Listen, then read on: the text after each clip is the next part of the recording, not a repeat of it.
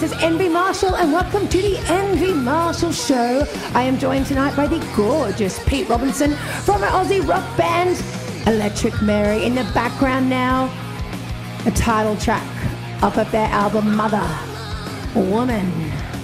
Tonight we get classy, we get sassy, we get a little bit badassy, and I cannot wait to share it with you. The Envy Marshall Show, where anything could happen, and it usually does. Stay effing tuned.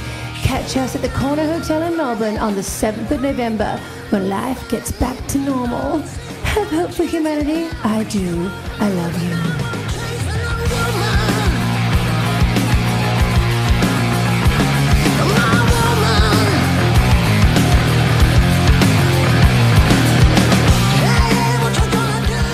My guest tonight, guitar slinger, lover of dogs, obviously. The hairy one. Everyone, I've missed you. What's been going on? Electric Wow. Pete, Pete Robo, So much. Yeah? I've been sitting on my couch. and now you're sitting on another couch. uh, well, I'm sitting Blessed on be. I feel like Blessed yeah. be, Pete. So um, I did a podcast not long ago with um, someone else who told me that you were his most downloaded podcast. So I was like, if I'm going to do a podcast, it's going to be with you. Oh, yeah, that yeah. one. That yeah. one. So Um, I was like, well, that, it makes sense. If I'm out of touring. if I'm going to, uh, that's right, out of touring. If I'm going to do a podcast, then it's going to be with the person who did a podcast who got the most views on a podcast. I was like, that makes sense. And I know you. We've worked together. Wonder why? I wonder why. I don't know. Why do people download you? You're not. You're not sure what people like you. No, I just. I like you. Ah, okay, cool. Well, you must download me a lot then. Stay humble or crumble, they say. Yes. Do you believe that? Well, I guess so. Hmm. I'm always humble. Where have you been? Anyway, I haven't seen you. When was the last time I saw you? Um, it would have been pre-COVID. we, We're allowed to say- you're allowed to say the C word. We, we we speak in a different language now, don't we? We COVID, pre-COVID, Mm. social distance. Are we social distancing? Is that okay? I've got hand sanitizer if you need Okay, it. Just I should, I pop it should in. probably lean this way a bit. Yeah, yeah, will we be okay? Yeah, okay. Just making sure that you're comfortable. Yeah. Got your whiskey there? What are you I've got drinking? I've got Not a whiskey man, he's a Scotch man. It, I'm whiskey with an E. oh, Yeah. let's see. So you've been hiding from me. I've Been trying to get you out the house, been trying to get you to come and see me, and you've been. Well, I have been I have been doing a lot of a lot of stuff, just not outside. Been at home. We've I've been writing a lot of um, a lot of new music for Electric Mary, which has been which has been quite good. We've been doing it remotely, which is mm, As in, not at all. yeah no no we um just just just you know Rusty will have an idea. He'll send me send me his idea. I'll play some guitar. I'll send it to um, well I actually social distanced over to Spider's place with my laptop and stood a long way away from him and plugged his drums in and then he played drums on it and then you know sent it to Brett Brett played his guitar on it and so it was just all you know and, and, and it was good it was a a good way to personal actually attack? do Did you actually want to social distance, or did you have to social distance? Or was it just an excuse, or was it actually because he smells it's like I've always wanted this? Thank you, COVID. no it's Do you um, ever have those moments where you're like, I've always wanted to be 1.5 meters away from you. Could you continue to stay that far away from me post I, pandemic? I'm actually I ha- I love my personal space so Mm. this has actually been a, a, blessing for me you know I'm, and and everyone, I think, in so many ways. That's okay. You can be honest about it. Yeah. I, I, I just think like this whole thing happening has because I'm such an extrovert that it's actually been so good because now I'm able to be like, uh, uh no, you can't come to my house. Yes. yeah I used to, my doorbell used to ring at four o'clock in the morning. Kitty knows, a beautiful camera woman slash my bestie slash, you know, queen of the pole. She knows that. Our doorbell would ring at four o'clock in the morning because everybody knew where I lived and I would always be up for it. But now, no one can find me. I'm not listed. well that's because you live so far away But also. I don't want to be around anyone. And I've taught, I've, le- I've learned that uh, this whole thing, what this it's taught me is, you know, we don't need to be up in each other's grills twenty four seven. I mean, it's good to it's good to see people and visit, and you know, but I actually I've actually enjoyed. Well, it's been no different for me. I mean, I never I never really went out, or I don't, and people don't visit me, so it's been no different. Not that it- I'm, I'm not I'm not looking for pity on that, but I actually because beautiful, that's just how I live my life. I'm a I'm a loner. But what's changed for you? Like, is Nothing. nothing. but when I, I spoke, I spoke to you a couple of weeks ago, we were talking about doing this, and I was like, look, I'm doing this podcast. You're like, great. Are we going to social distance? I'm like, absolutely. And then, and I was like, so what, what side of the camp are you on? Are you on the side where, you know, well, not camp, you know, it's not a camp, I went, went to the SB the other night, and, and the waiter told me that it was a new regime, and I was like, a regime? Uh, what? Um, so going back to camps, obviously awful. Um, what side of the camp are you on? And I said, are you, are you on the COVID side where COVID is a scam and it's totally fake, or are you on the side of the camp where COVID is absolutely real and we should all be prepared and it's you know, uh, you, and you were you were leaning more towards the side of this is a real, this is real, it's happening to people I know. It's Well, well I, yeah, I think. Um, I mean, obviously, it was it was something. I mean, whether it was whether it's um, you know as as as bad as what they made out. You know, I mean, it's obviously bad because people are dying. You know, and that's and and having you know we've all got older people in our lives, and you know my parents are my parents are old, and and. I was constantly. I mean, I usually don't. We don't talk on the phone because Dad's always on Facebook, so it's always Messenger, and you know that's how I get my birthday. I'm so glad my dad's not on Facebook. Any, and um, and so um, I, I, I was actually talk, calling them and you know making sure they were okay, and because I can't, they, they live in Brisbane, and so and the borders were closed, so I couldn't go and see them, and you know, so it was it was kind of hard. So I was I was concerned about them for the for the for that fact, but but I actually think I've had it. Can I can I say that? yes, you can be fucking authentic. But, but this was before it actually happened, before the whole outbreak thing happened. Because you know, I mean, as a as a as a touring musician, you know, I'm always on a plane. I'm always out at a playing at a festival or doing you know doing gigs where there's a lot of people mm. coming up to up close and mm. And you know you're getting your photo taken or whatever. And um and there was this one time where um, I was I was uh, doing this doing this festival show and and and um, we did we did this show in Warrnambool and then we then we came back and we had to we had to come, fly on a on a private plane from Warrnambool. it's such a hard life. Oh, F- private I've had plane. enough. It's Will you ju- just I'm so glad of this. I'm so sick of touring, and and have to come back to. Um, uh, Melbourne on the pl- on that plane, and then and it was so early in the morning because we had to then catch a plane from from Melbourne to. So we, I was exhausted, and I was touring with Russell Morris, and, and, and I was really exhausted and, and run down and everything.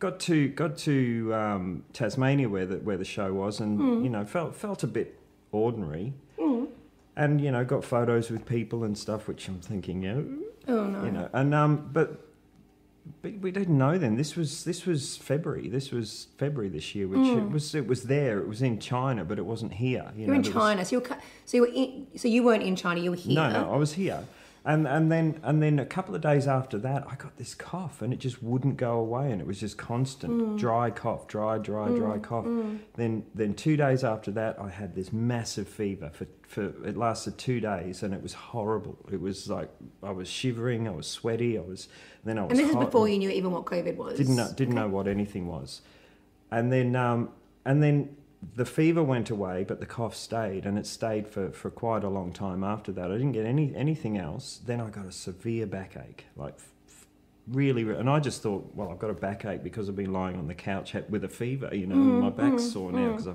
normally go walking, and um, and then I find out a few months down the track. Of the symptoms of, of what it is, and I looked at them, and that's everything that I Oh had. gosh. Okay. Right. So, I, So you've already had it. oh, Can you have it again? Well, you can. I Can you think, have it well, twice? They don't really know. They don't know, do they? don't know. I think, It's so think sketchy. there's there's alcohol kills it. That's what I've heard. Mm-hmm. Cheers. Chin chin. Thanks to Ned.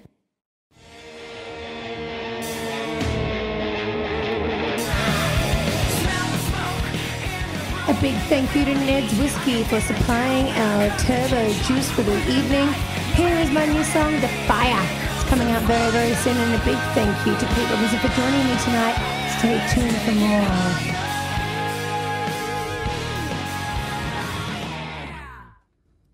Do you feel like the other side of it, or once you've reached this peak, you had enough and it, you had to knock it off, and now you're coming down the other side of it, so you actually got a break, and it was something that you might have needed? It, it, it was a good break. It is a good break. I mean, there's a, the, the the problem is, you know, that uh, uh, what what happened with it because early uh, the, the early part of this year was unbelievably busy for me. So so I had a mm. lot of lot of lot of work, mm. which mm. all got cancelled. And then the middle part of the year was where where I was actually going to be forced into like a three month kind of hiatus. But there could have been other things. I think that was the time when when I think Electric Mary were going to work on stuff and we were going to start recording and things. But that's all flipped over now. So so I mean we're still recording, but but there's been no you know the the the initial shock of when when this all hit, and I'm sure every muso, you Everyone. know, I, I know I mm. spoke to a I spoke to quite a few few people that I, I play with and, mm. and of, of you know associates, and they mm. they all um, they were all like freaking out, you know, just watching gigs disappear just just in, before our eyes. You know, everything was getting cancelled, and it was it was a, a real shock. And you know, you're ringing your you're ringing your real estate agent, going, "I can't pay my rent. I can't Yeah, do crazy. it. I can't do it." Even Yeah. though I always, um, because I've been doing this for so long, I always. Um, I was smart with, with well, when I say smart, I was kind of smartish with my money. So I- Smartish? I'm smart. What does that look like? well, um, it, so I always put money aside for, Yeah, good. for when for when things got tough, which which because that's what I've always done, and with being a Mm. That's a musician. really that's really good advice for people that are sort of starting out and wanting to make it a full time career because I, you know, hopefully, you know, it, it's it's going to come back around. I know that um, there was a news story that went out today that that New South Wales are doing um, thousand gigs in twenty days or something that, that they put out. Jimmy Barnes and Tones and I are headlining it, and New South Wales are doing a thousand gigs in twenty days. That's what they're going to do to re, uh, rebuild the music industry in Sydney, and that's going to happen in November. So when all the when everything sort of stops, when our gig is, or your gig that I'm on, let's be honest. yeah. So November seventh. Was it November seventh at the corner? Is that still 7th of seven? yeah, 7th of November. Yeah. So excited. So yeah, moving towards that. So like the the government are doing things to to sort of rejig the industry, um, but people are sort of like don't have hope. They don't have hope that things are going to turn around. They don't have hope that they can go to a gig anymore. Like music bars are closing down. I think I've seen like 40 bars closed down in Melbourne. Yeah. You know, people asking for money. I think there's some bars even asking their punters to donate money to them to stay open now without naming names. That's happening. Um, and it's a worthwhile cause. So like, what do you say to people that are, you know, worried? Are you hopeful that it'll go back to the way it was? Do you see this as a hiatus or do you see this as a full stop? Well, it's it's it's. I think it's a. Um, it's a full. Well, I think uh, it's not a full stop, but it's but it's definitely a, a stop because. I mean, uh, you can't. You know, I'm so used to working all the time. You know, there's there's. It used to be if I didn't work for two weeks, I'd get worried. You know, I'd start to worry that oh, you know, what's going on. But but you know, I, I actually have been fortunate enough to be working every every week. You know, w- within the music industry. So you know, Yeah, and, and this this is this has been um, you know, it's not just the musicians. It's it's the it's the production people. It's the the hire companies. You know, it's everybody. Shout out Melbourne Backline. Yeah, Yeah. Melbourne Backline. And um, you know, it's it's it's every everybody's um, suffering. You know, Mm. the the the uh, you can go on. The list is endless. You know, and and uh, yeah, uh, it's it's been a full stop for a lot of people Mm. To this point. You know, it's probably a full stop with a comma afterwards. It's a comma. Yeah. So there's hope in that.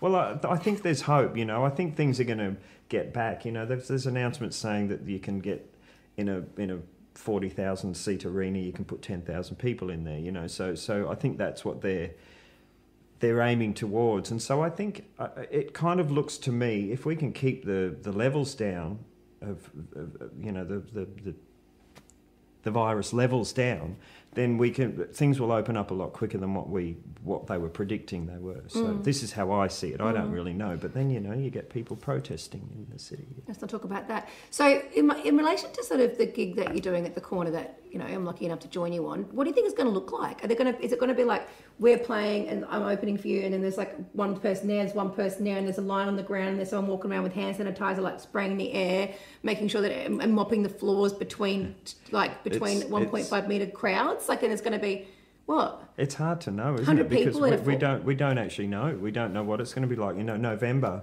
it could be business as usual. We don't actually know what's going to happen till then. The, the the the problem that I that I think is is um, the big problem. I think is um, international acts coming in because because it's still bad overseas, you know, and and and the, there is a festival that, that that I was doing this year called Under the Southern Stars, which got Would have which been got so fucking well, it got sick. postponed till next year.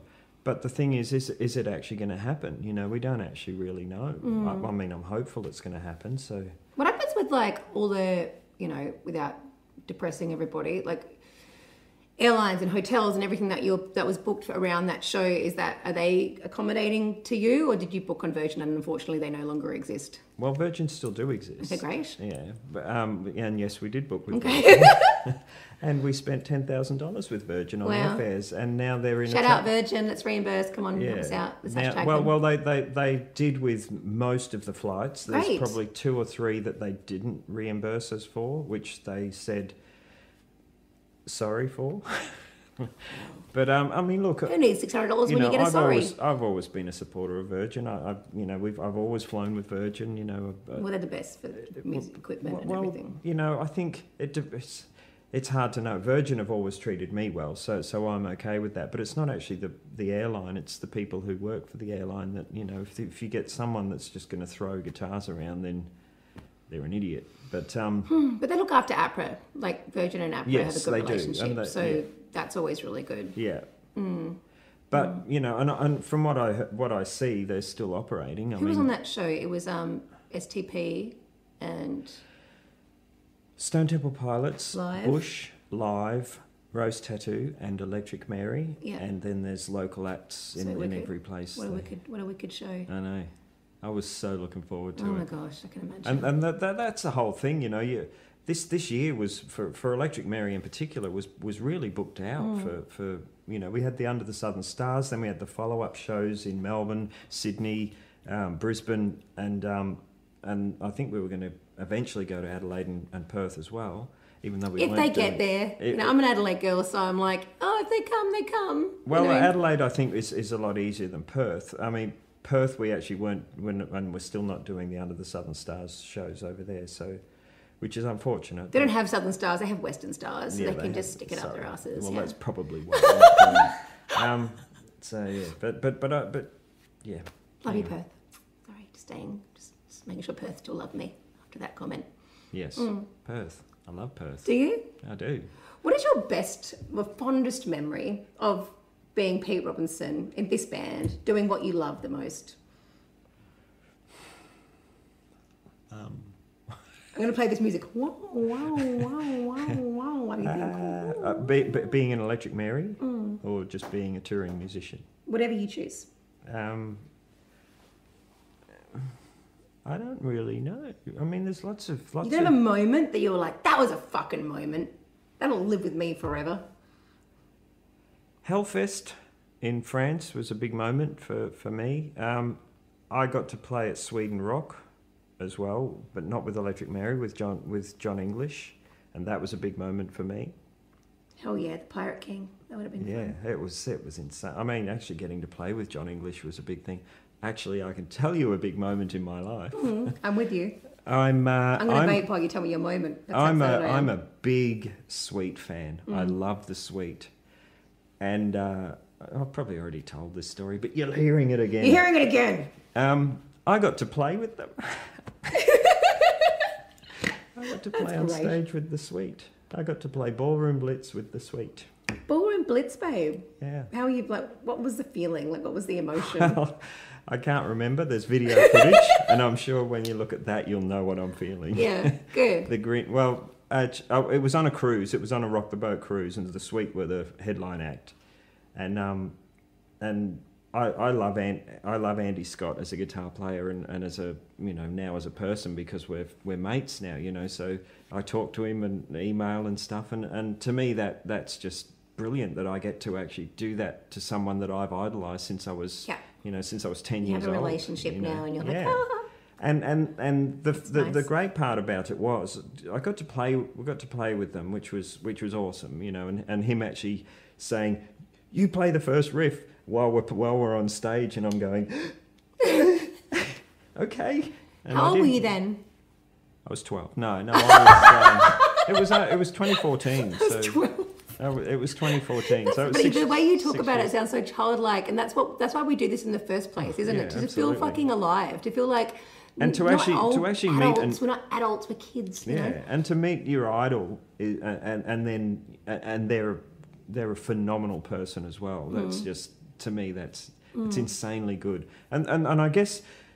And this has been good. Good. This whole lockdown thing has been has been a really Mm. eye-opening thing for me because you know there's there's a few there's a few guitar players that I really idolise. You know, Brian May is one of them. Mm-hmm.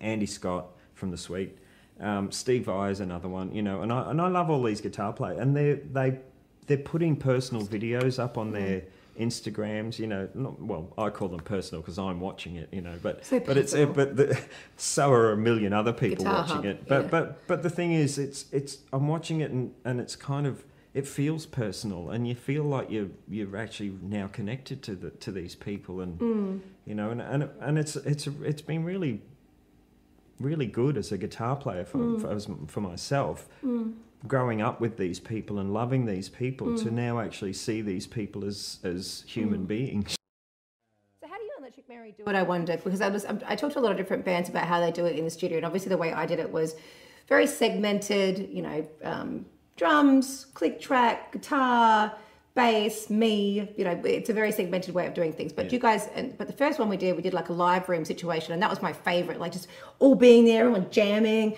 Yeah. Yeah, that, that's my that's my favorite way to do it. Obviously, you've got to segment that and pull that apart. So, how do you guys do it? What's your well It's been process? different it's been different every time you know we well not every time but it's been it's been different um it, it's all it's probably dependent on the studio you're working in whether you can actually do it live or not um we've always we always recorded with ricky ray and um Shout out to Ricky Ray. shout out to ricky ray legend Legend. and um and and you know that that was always we we play live uh, but um, but not amped. So so it would it was kind of simu- simulated guitars, but but with a DI sound. So it was just the clean guitar. So if anything was great, and we said, well, I've got my part, we can just reamp it, and then it's how I played it with or how Brett played it with the drums. Bass we try and capture with the drums when they're being done. You know, we may go back and do some bits and pieces here and there, but but uh, mainly uh, we focus on getting the drums right if if there's something we've captured that's that's great with with a guitar part or a, or a or a bass part, then we'll keep that and we'll reamp it and we'll we'll use that as the bass and then we'll go in and do some other things over the top. I think this time we're going into um, we're going to try and actually play as much live as we possibly can. Oh, it's so cool. It is. I mean, and which I'm really looking forward to, to doing. You know, because we're best when we're live. You know, it's it's kind of good. You really are. And um, and then then obviously Rusty comes in and does his vocals afterwards because you know you've, you, it's just the way you have to do it. I guess it's it's too hard to do it the other way. Although they used to. Oh, also, we need the as a vocalist, you need, you need that me time. Yeah. It But might so, sound you know what? Some some like vocalists can do it there and put me in a box and Yeah, take yeah. care of me all day and Yeah, take yeah. feed me compliments and I need my tea. I need my I need my ginger tea.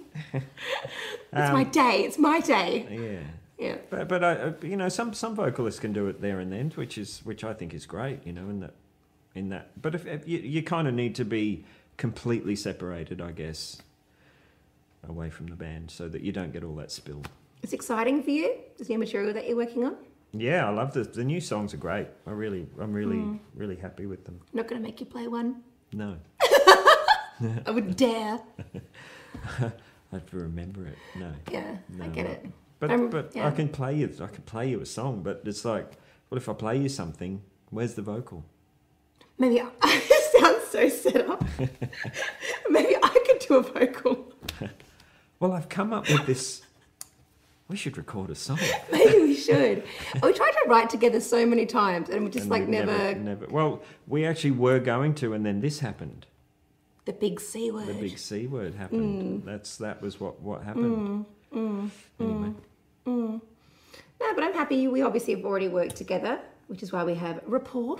yes, yes, Would you say we have rapport? we do. I think we might have a bit of rapport, darling. Um, Speaking of pouring, okay. oh no no no. Speaking of pouring, right. uh, No, no. Ned's It's whiskey. okay. I'm, Um, I'm actually I need to drive. Oh. drive where? Who's gonna drive you? We're in the? Hollywood Hills. You've got a long way to go to get back home. Just a touch, please, please. There you Yeah, go. There's some hand sanitizer for you. How's that? It's liver sanitizer. You'll be right. Yeah. So um, we got a show. Yes. I'm looking forward to that. Yeah, that'll be fun. Can anyone even buy tickets for that yet? I think it's going to start being well. It's hard to know because we, you know, we don't know. Oh. We're putting a show on, whether you know how it's going to go Mm. ahead or how many people can actually go in. We we just don't know yet. I think it's going to be. I think we're going to hold off for a couple of weeks until Mm. till start till it goes on. I mean, it's not till November, but you know, how People are things- gagging. I'm gagging. We could be selling tickets right now. I swear to God. swear to God. I swear to God. We could Swear be to selling God. tickets right now. Yeah. we I don't could. know if that was Boston or I also went into a little bit of like Tasmanian in that accent. I'm not great at them. I'm not good either. I went to whenever, NIDA, but I whenever I, can't do do an accents. accent, it ends up being an Indian one. So Can I hear it? yeah, no, you can't. but my head starts to do this as well.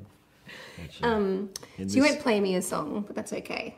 Um, what else, Pete? What else has been going on for the last few weeks for you? um, Like since the big C hit, like well, I, uh, just just um, I guess doing what everyone else is doing, apart from the people who can work from home, is um, exercising more. even though you bought me your exercise equipment. I did, That's but fine. but the thing is, that wasn't working for me.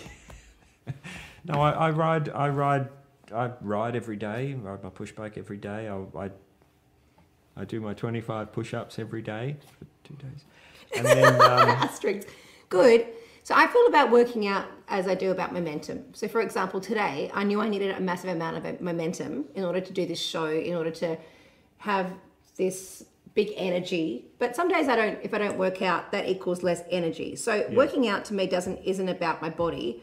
Working out to me is about way more than that. It's about my spirit levels. It's Yeah. about my extroversion. It's about my body is part of that because obviously you want to keep that in line because without a without a strong body you can't have a strong life and I truly believe that so that's a very important part of the way it works I truly believe but there's so much more that's going on with working out it's not just about the physical exercise and, the, and, and how that represents in your outward appearance so getting that momentum today to do this show was about you know 45 minutes on a spin bike push-ups jump squats all that stuff and that's the same sort of energy that I would bring to a stage um, and I think that that's really important if you're going to be at the front or electric or whatever. Yeah. And has that always been a big part of your life? Like no, getting.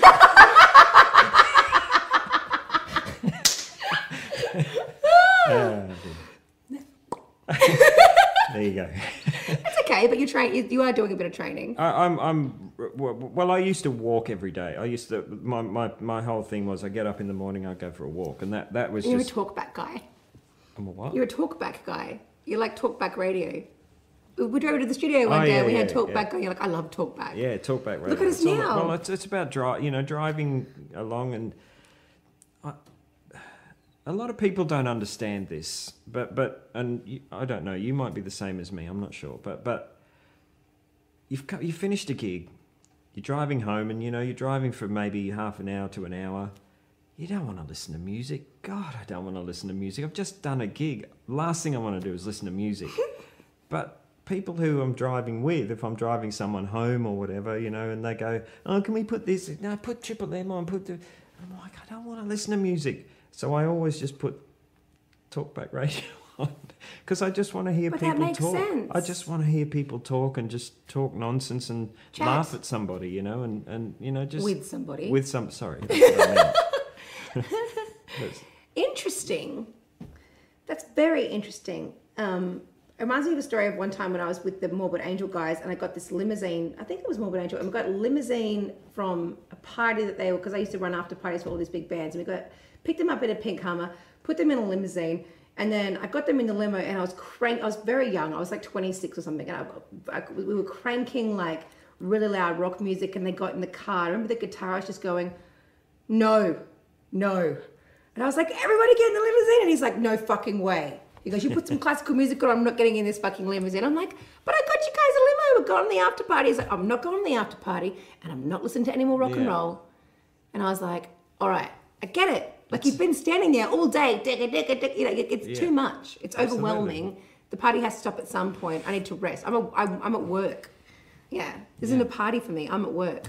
that's exactly how Mm. it is. You just don't want to, you know, you've you've got people around you all the time. You've got so much stuff going on and, and noise, and you know, and driving home is peace. It's like the Mm. peaceful time, and it's where you get to just reflect on what's happened. And so I actually prefer to drive home alone. I actually would, don't want anyone. I'm not saying- nattering yeah, I just don't next want to you. that talk, talk, Okay. talk. Mm.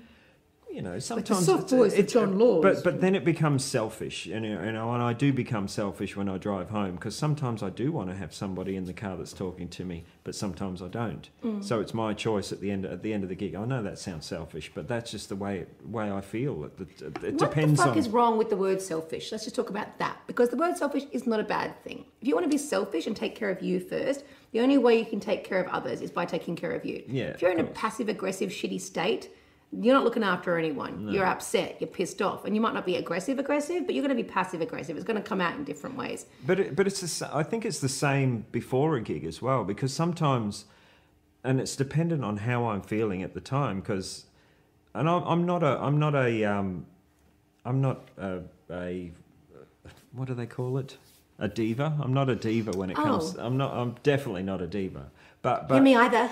but but sometimes sometimes I actually don't want to talk to anyone before a gig. I just want to sit by myself and just think, you know, and just just focus on on things. Mm. But sometimes I want to go out and get shit faced drunk and you know and talk to everybody What in are, the are room. you? Are you like? Can you do the same performance whether you're shit faced versus whether you're sober? What do you think about that from a? I used to be able to. Mm. there is a point now where I, I know my limits and then I just have to stop. And I, I, I know with Russell, I'm touring with Russell Morris and Brian Cadd has been a big um, a big Curve. learning curve for me because um, you know Brian likes to have a, a whiskey and I, I love whis- I love having a, a, a whiskey but he always got a in, in his rider there was always a Mm. bottle of whiskey and I always helped him drink it and we we drink most of it So before helpful. we, we well, it was part it was part of my job I had to help him drink that bottle and um, you know and, and having doing that before you go on stage and then go wow I'm pissed and and um, and then trying to play Ginger Man And how'd that go? well, I think it went well. You, you got called back. Can't have been that I got bad. I got the phone call. Um, but you would be at that point now as a musician where you're so subconsciously doing what you do. Yeah, there, there is, but the, but there are. T- I know. You're a master. I say know- 10,000 but I know, hours to I know at some right? point there, there are there is some point where I start playing and go, wow, I can't play, which has happened a couple of times.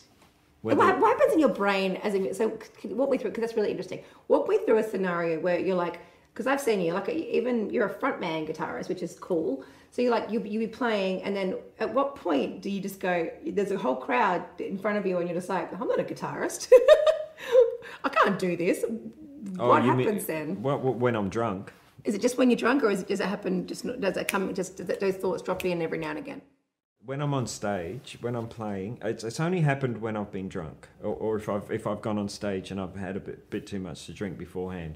But it's never. I've never, I've never gone back gone back and gone oh you know into my you know into myself and gone oh I can't do this I can't do this. I've never done that apart from when I was younger. Um, I actually.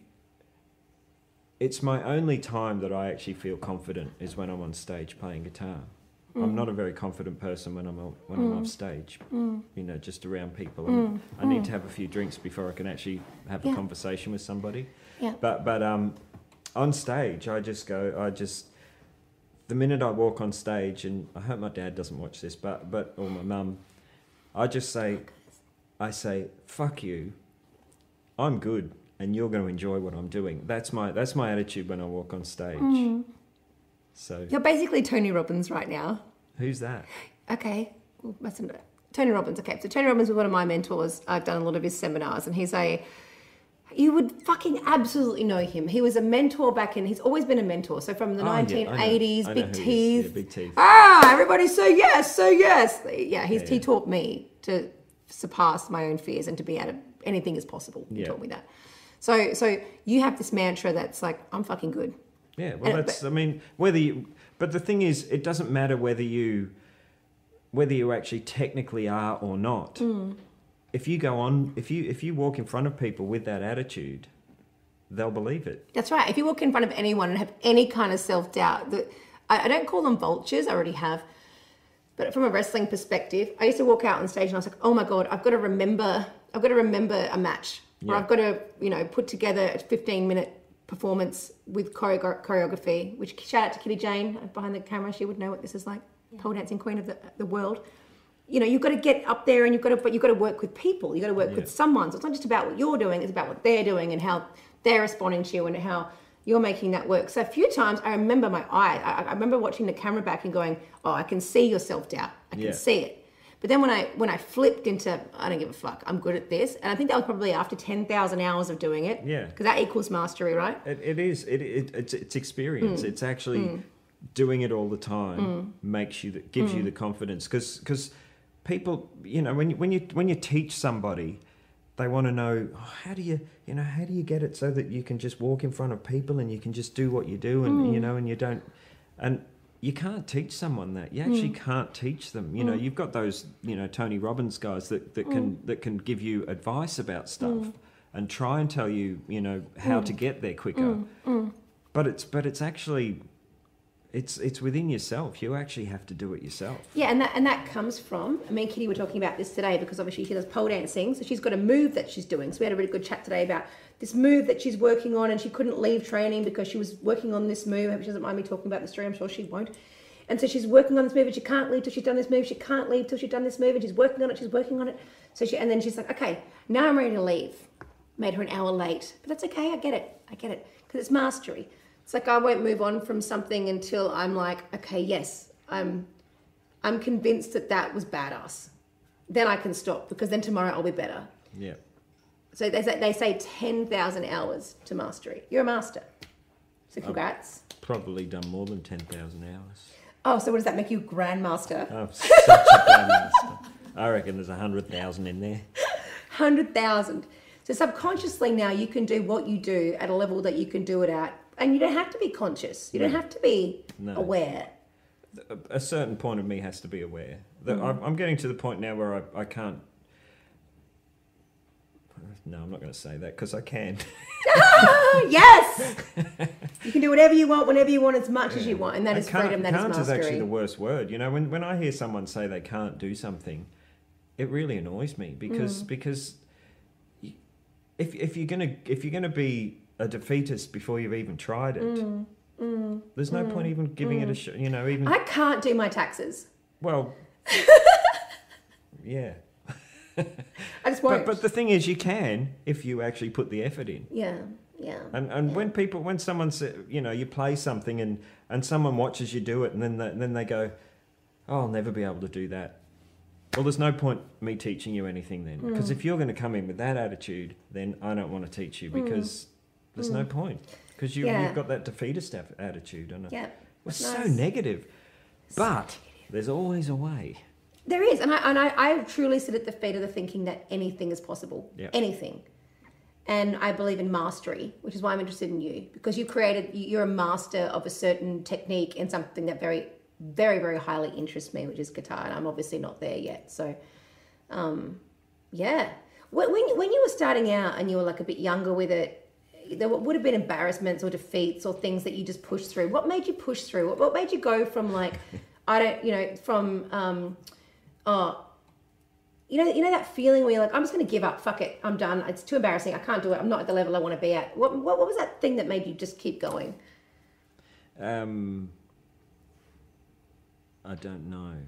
I actually can't remember. I don't. I, I- all I know is, I, I guess when I was young, young, I um, I mean, I started playing guitar when I was eight years old. But but, and and and I, I was just I was just learning chords off a teacher. The teacher was Mr. Lee, and he is in a band called the Triffids. Which I don't know if anyone's heard. If you've heard, well, the Triffids. Hello, hello, Triffids. hello, Graham Lee Hello, Graham Lee. he was Triffids, yeah. he's my, he and I didn't know that he was in that band until I moved to Melbourne and this is like you know. the teacher. and he and and then I saw I the you know when the the whole social network came along and Facebook came along and and all my friends from school had this friend called Graham Lee and I'm looking at it's like that's Mr. Lee that's the guy that used to teach me how to play guitar in school he was my teacher my actual teacher but he also played guitar. And then he's a, he's in the Triffids. I'm like, wow, this is bizarre. And he lives in Melbourne. Anyway, that's beside the point. But anyway, I I um I just I, I I kept playing guitar. I would play guitar all the time, all the time at at home. Have a break for dinner, then go back and play guitar, and that's all I ever used to do because there wasn't social network, there wasn't any of the, there wasn't Distractions. distractions, there was no distractions. All I, mm. and there was no one else playing guitar at, at school, you know. So so I was like that cool guy that played guitar. So Okay. so for me to because I was a bit of a weed and you know I wasn't I wasn't very tough, you know, but I was in a tough school, and and so f- this is the way I was thinking. Um, you know, if, if anyone from my school is watching, then you know that's probably not how you saw it, but this is how I saw school. School for me was. I always felt anxious about going to school. I didn't, you know, I felt like I was because I wasn't very strong, you know, and, and so my only way of getting through all of those insecurities was playing guitar because mm. people saw me as someone mm. that was kind of cool, you know. Mm. So so I played How guitar, and that's that's what I used to do, and I still do it to this day, and that's why I enjoy going on stage and playing because it makes it, so much sense. it because it makes me feel confident, you know. it pushes you through that because really it's muscle. It's it's ah, Yeah. it's gruff. You know, it's like it's it's yeah, it does. It gives you it gives you this fucking sorry, mum and dad, your, your mum and dad, not mine. They don't care. Your sense of identity and your sense of purpose and this this you know this this I can do anything Yeah. kind of attitude. So why the fuck not? Absolutely. So what kept pushing you through then was um, your My- identity. My insecurities pushed me through. That's what pushed me through. Interesting. So, so for me to actually feel good about this is horrible to say, but to me, not. to me, for me to feel good about myself because I had those insecurities Mm, of, of, of, of anxiety issues and things like that was actually to play guitar Mm. because it made it, it people actually admired me for what I was doing and, and when I when I was playing and seeing people smiling and enjoying what I was playing that actually made that that fueled me even more Mm, you know fills you up. which is great Absolutely. It's the best feeling. It's such an honest. It's such an honest answer. You don't really get them much. It's like, oh, you know, fucking chicks. Do it because of Well, chicks. there was that as Yeah. well. but, but, but the thing was, and that, but that's my insecurities as well because I could never go up and just pick someone up unless I played guitar in front of them, and then it's like, ah, you, you might. Oh wow! Yeah. Fuck, that's honest as hell. I appreciate that so much because it's it's it's it's funny. Even with wrestling with me, it was like what it was like. As soon as I someone introduced me as a wrestler, oh my god! I'm like, oh yeah, uh, ding ding ding ding ding. Like all these like little senses in my brain went off. Like, oh, this is what you need to be doing because this is going to get you the significance that you crave and the attention that you desire and all the things you didn't get. But I'm like, well, strip that away for a minute. You know, I think what's really important is who am I without that thing that I do? Yeah. Because if I'm just if I'm just attached to that, because I had to lose that career very early on in the piece because I hurt my head. So if I if I didn't if I couldn't um, adapt very quickly and find something else that I like to do, which was you know I'm just going to have to learn guitar in a very short period of time and surround myself with incredible musicians. Otherwise, I'm just not going to be able to get up to speed in the amount of time that I need to do to be able to do this thing that I want to do. I think adaptation is a very big part of that. Um, but it's very interesting. Like, they're, they're, uh, everyone I hang around with is, is a master of something. They're great at something. And I, and I think that's incredible. Takes 10,000 hours to get there, which I think is in about four years. Is that right? Fact checking, Kitty? Is it four years? Yeah. Four years flat. Just, just doing that. So, very interesting. What have people done for four years? Worked at reception, worked at hairdressers, worked at whatever, and that they're all wonderful, great, and yeah. important. Obviously, what is, what is a hairdresser now? They are essential. Essential, So yeah. essential. We're not. They are. No, So we're not essential. we're not essential. They are. So I shouldn't be talking smack about hairdressers. Isn't it funny how essential you thought you were, and now we're not? I was so essential. I thought I was essential. Yeah, and then you know you lose this this part of you that's essential, and now we're all grabbing for other stuff to do. But what I'm saying is, if somebody wants to be anything, all they have to realize is they just need three to four years. Well, and that's focus. You've got to focus on it. If, if you just think, oh, I'll do it, you know, I'll do an hour here or an hour there, you can't. You've got to focus on Mm. it. Otherwise, you, you you you know you'll get you'll get to a certain point, Mm. but you're not going to get the mastery. You know, you're not going to feel be a master at something. Mm. And It's the like Masters, everything. uh, Jimmy Page, that- that's a fucking like, that guy did not. He were he was born on the guitar. He didn't Yeah. stop. Similar, twenty four hours a day, just just stop to shit and eat. Yeah. You know, that's how you make someone like that. You don't just doodle every couple of every couple of days and think you're going to have that level of mastery. I remember doing, um, um, you know, we were talking about talking about mastering, but you know, with mastering, you've got to have the, you, you have to have failures. You know, you've got to have little failures along the way, and you know, God knows in the music industries there's so many failures, but but or, or yeah, pitfalls. And and one of mine when I was learning learning guitar was I, I'd, I'd sit at home and, and I'd be playing you know, learning songs and learning styles and just playing and playing and playing. And um, and if I couldn't get something, I used to get so frustrated to the point where I would throw my guitar around the room and I would just, you know, get so angry at myself and just throw it on the ground. I get and, it. And I'd have to walk away. And I'd walk away for about an hour or so and come back in and I could play it. And it's just because you, you're cramming so much in and, and you know you just can't it's not happening and so you get so frustrated at it and you're getting really really really mm. angry and I, you know for me that was back when I was a kid was a failure you know I'm, I'm, I'm shit house I'm useless at this Ah! and I just storm out of my room and you know and then I'd come back you know whether it was an hour later or whether it was the next day you know after and and I could actually play it Interesting because I think you need to like be able to step away from it and come back, yeah and step away from it and come back. there is a point where you have to you have to just step away you know i did play a lot. I played a, a lot but i also hung out with my mates. But but i did i didn't have many mates but i but a lot of my there were a few mates that were actually guitar players and i'd just go to their house and we'd play guitar. So that was hanging out with my mates. But that's what you did. You created a peer group of people that were doing what you wanted to do, which then, you know, it reinstated your identity. This is who you wanted to be, yeah. which then cultivated your drive and kept you accountable. I, I, I didn't like sport when in school, and, and the last two on a Friday afternoon, the last two periods in school were, were sport, and, and I hated it So, yeah. because I, never did sport. Nobody checks the roll in PE. No, that's right. It, it used to hurt my fingers and bend my fingers back when I played volleyball, and so um, so I would uh, I, I said to um, I said I had a talk. I can't remember who I spoke to, but I spoke to either the headmaster or someone or the head of the school or whatever, and they and I just said, look, because we didn't have music. There was no music in, in Oh. my school. There was nothing. There was there was in, in year eight. They they they had a music uh, a music um, period, and and then um, and if if there was when when it went to year 9, 10, 11 and twelve. If nobody was really, if there was, if there wasn't a majority of people that wanted to do music, then they just didn't do music and there was probably me and a couple of others that I, after year eight wanted to do music, so we never did it. So it was never there. So so I just said I said to them, look, I want to play guitar. I don't want to play sport. It hurts my hands. so um so Amazing. they what were your parents like? Supportive? yeah, mum and dad really supportive. That's great. me playing guitar. But, but so so I just said to them, um, can I have a period of just playing guitar? And they did. They let me do it. And so it was just it was just me sitting around playing guitar. and and if people brought their guitars in, then it was great. How That's- wonderful that you've you're you've been so like that's what I call a mission, right? You've had a fucking mission ever since you were eight.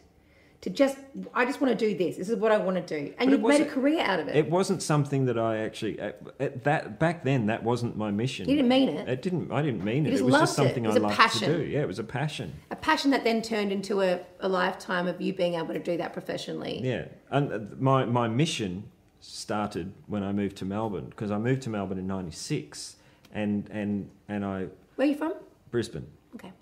and I I moved down here because you know I just thought I just saw I was in bands in, a band in Brisbane and you know it was it was kind of hard to leave but but I thought I just don't there's nothing happening you know and I need to need to be somewhere where there's things happening you yeah, know. I did that. so I so I moved to Melbourne. I didn't know anybody except the girl I was seeing you know so so I ended handy. uh, yeah. So I was living with her parents and um and and um No shout outs. and I, I just went, I just went, I need to actually have a strategy though. I need to not just move here and then go, oh, I'll just get in a cover band and then just play covers or whatever. So, which I ended up doing. I got it just because I needed to earn money. So I got into a cover band when I got here. But but my my goal was I wanted to meet people who could have an influence on me, you know. And so, and and I and I looked at. I, I just looked at all the guitar players that were in Melbourne, and there was, you know, there was Tommy Emmanuel, there was Ah. there was Jack Jones, Take a moment for Tommy there was Stuart Fraser. Um, you know, there were all these guitar players that lived down here, and, and I just thought, well, I need to I need to work in a music shop. I need to actually work in a guitar shop where guitar players come in, and so I I got on the dole. yeah, God bless this country. and through the dole, I got to do a course in um, in retail, which why anyone would want to do a course in retail, but I, I needed to because I wasn't a salesman at all. And um, so I did this course in retail, and part of that course was to you got you got placement, and you got to choose where you wanted to work for two weeks to um, to to get the experience. So so I chose. Uh, there was two choices. There was two options I had. I, I lived near Cranbourne, so I was it was either Cranbourne Music, or I used to take my amp when it needed to get fixed. I took it into this place called Sindel Music, where, which is where a guy called Dave Ulbrich used to work, and he was the he was the guru amp repair, re- repairer. And so I thought I'll just ask them at Sindel Music, you know, because from what I see, everyone goes in there to get their amps fixed and they got me in there to work for two weeks. And um, and after the two week period, he offered me a job, and so I got a job in there. Tommy Emmanuel came in Oh, to, Hell get- yeah. to talk to Dave. Jack Jones used to come in all the time. and you envisioned this before it happened, right? Well, this was my plan. My plan was You to see it. it. I planned this. Stuart Fraser came in, and he was the big instigator from Noiseworks, who's sadly passed away now. But he was the big, big instigator in, in me starting my Melbourne career. Because I, I got into, um, there was this artist called Marie Wilson, and she had a, it was 98, and she had a, a hit back in 98 called Next Time and he was touring with her at that point, but he couldn't. He was also working with John Farnham, so he couldn't. Um, Fancy. he couldn't play. He couldn't do the tour with Marie Wilson, so he he suggested me. Just from you know, he saw me play in the music shop, and Dave Ulbrich used, gave me big recommendations and everything. Which thank thank you, Dave. And um, so so I got that through. I got the gig through that. Ah. And so, and I was touring around everywhere, and then I got to go to America with Marie, and then I came back and I got into this other band called Sneak, and through that I got into Electric Mary, and it was just it just became this on. And through Electric Mary, I got into Russell Morris's band, and You know how we were talking about me on the spin bike before and how I was Yeah. creating momentum for today? You created momentum through your actions. Yeah. You didn't stop. You got up every day. You went and did what you were going to do and you created this big momentum and it's still going. yeah, well, it well it is. I mean, you know, it's uh, but it always does. As long as you as long as you want things to happen, mm, mm. you know, you mm. and, and as long as you try and you know put the effort in to make them happen, and they'll, they'll Four happen. years to become a master full time, they reckon? Four many years. They reckon four years of full time. Yeah. But that's that's how many hours that is. So that's like well, maybe spread that over eight if you're a normal human being. So maybe eight years full time playing guitar. Potentially, people Yeah. could be a full time working guitarist like you, even if they started today. Eight years from now, they could be doing that They could be. Mm. if they maybe dedicate to, their. maybe not to my level. no, that's absolutely. There's a lot of space for ego here. I have many rooms. Absolutely, abs- you know, absolutely. You can, you know, anything's possible. Absolutely. And on that, Pete, thank you so much for joining us That's tonight. quite all right. I hope I haven't bored you all with my rambles. Yeah, we cut the tears out. We put little pictures in where we started crying. Okay, cool. Or was that when your camera stopped? Yeah, Okay. I didn't cry. Pete Robinson, Electric Mary, Envy Marshall opening for you at the corner on November 7th. Can't wait to see you there. Ugh. Stay tuned for a live track. We're going to play a song, right? Yeah, let's do it. Let's do it. Hey Pete, thanks for joining me. We want to do a bit of a live performance. This one's called Bad Thing. I'm joined by the gorgeous Pete Robinson. Wow. Aren't you gorgeous? Wow. Yes, you are, darling. Envy Marshall, Pete Robinson. Bad Thing.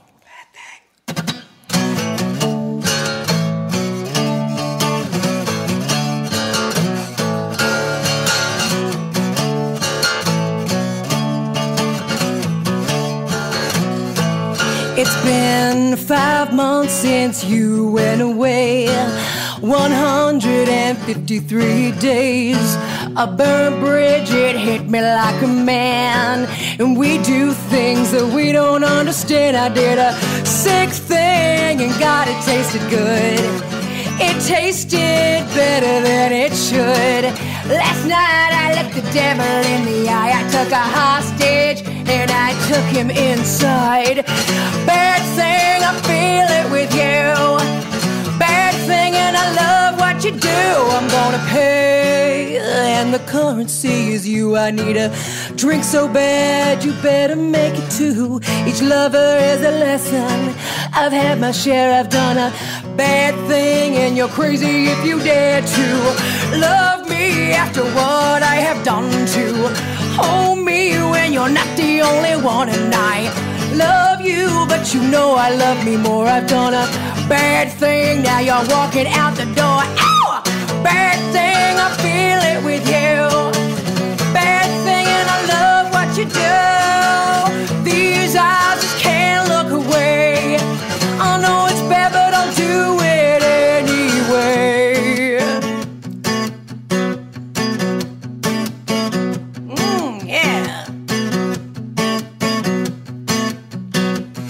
did a bad thing and I'll do it again. I did a bad thing and I'll do it again. I did a bad thing and I'll do it again. I did a bad thing and I'll do it again. Sick thing and God, it tasted good. And it tasted better than it should. Last night I looked the devil in the eye. I took a hostage and I took him inside. Bad thing, I feel it with you. Bad thing, and I love what you do. These eyes just can't look away. I know it's bad, but I'll do it anyway.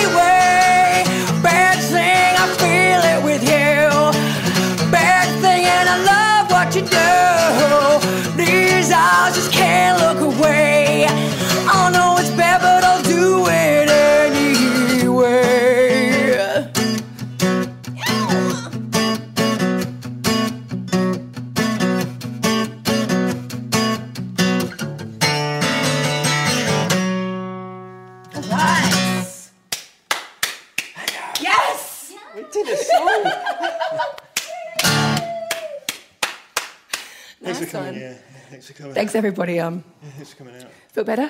Feel better now that you've done a song? I mean, I feel better now that I've done a song. I feel back. We're not doing a gig, we're doing a song.